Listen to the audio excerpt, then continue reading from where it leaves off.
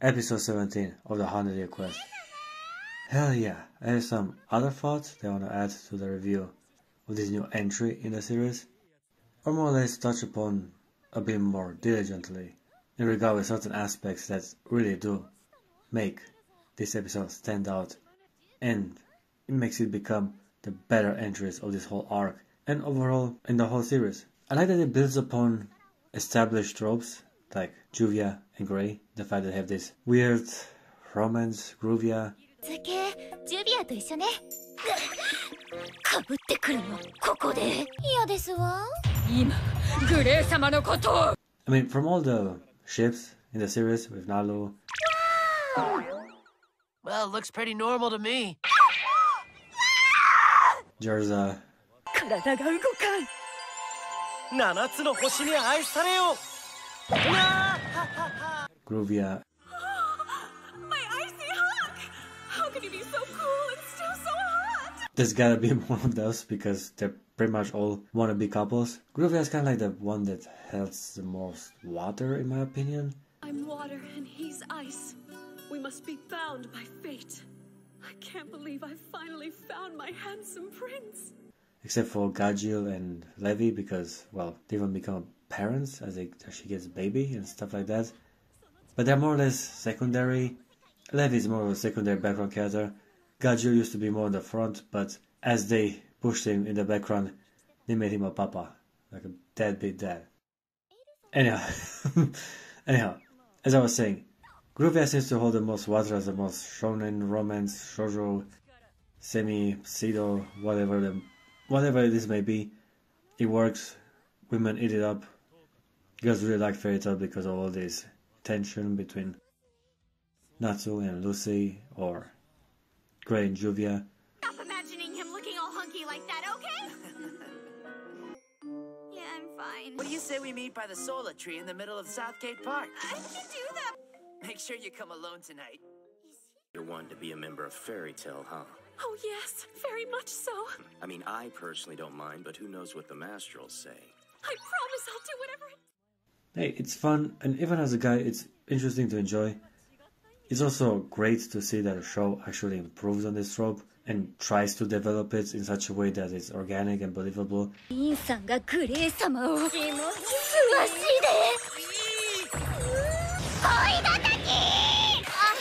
and adds to the overall character development and interactions these beautiful people have with each other. It is kind of a wonder how well certain aspects of the show fit in the puzzle, considering how shit of a narrative the, the writer has implemented it throughout this whole series. This season has the better structure, as they have this whole quest they have to achieve with clear objectives and secondary activities they have to complete to reach their goal. It is fun, it's great, but I said, I really, really do enjoy how they implement it in the combat. They made their relationship, the weird dynamic of Juvia being incredibly in love with Gray as part of the way of their defeating the enemy.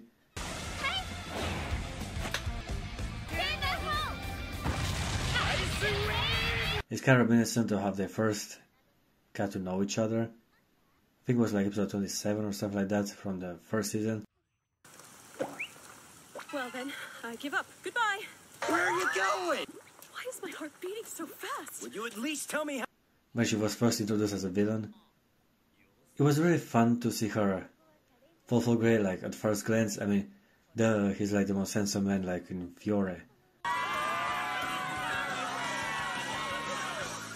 Such a fiery, icy hot. As you notice my blazing heart, the brighter my flames of love become.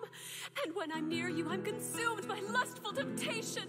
So it should have worked. In my opinion, Grey and Lucy would have been like the dream couple, because like Lucy is the queen of Magnolia.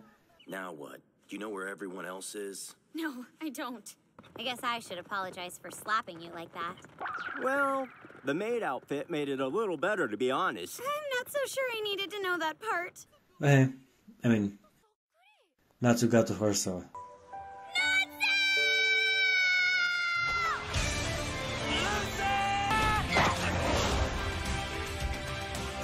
that's how it is, and Juvia got so popular. My beloved Gray. Yesterday I was so nervous I could barely even move.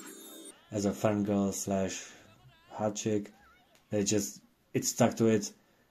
And plus, Gray is kind of like this shoujo main guy with complexities and stuff like that.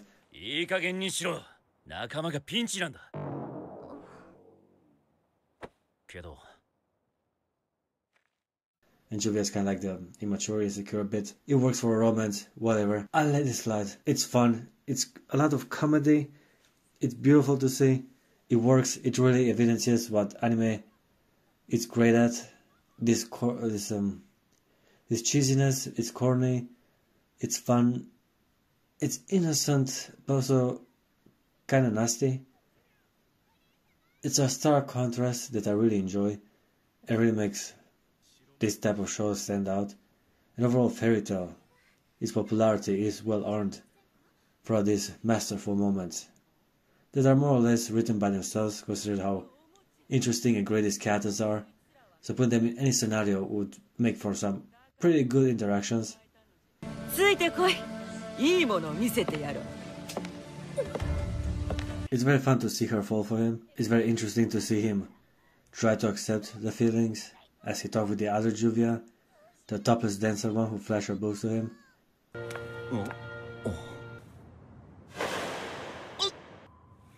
サービスよ and only to him, which is also a huge treat.